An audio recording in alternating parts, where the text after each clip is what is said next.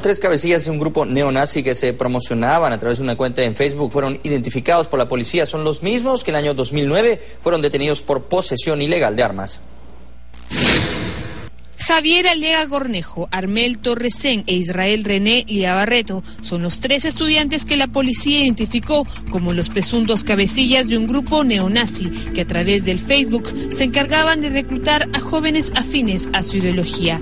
En las redes sociales publicaban orgullosos estas fotografías vistiendo polos rojos con la esvástica nazi y rindiendo honores a Adolfo Hitler. El 2009, Javier Aliaga Cornejo y Armel Torresén, acompañados de Adolfo Miranda Merino, fueron detenidos y llevados a una comisaría de Ventanilla cuando en plena madrugada hacían prácticas de tiro sin autorización cerca de la refinería La Pampilla.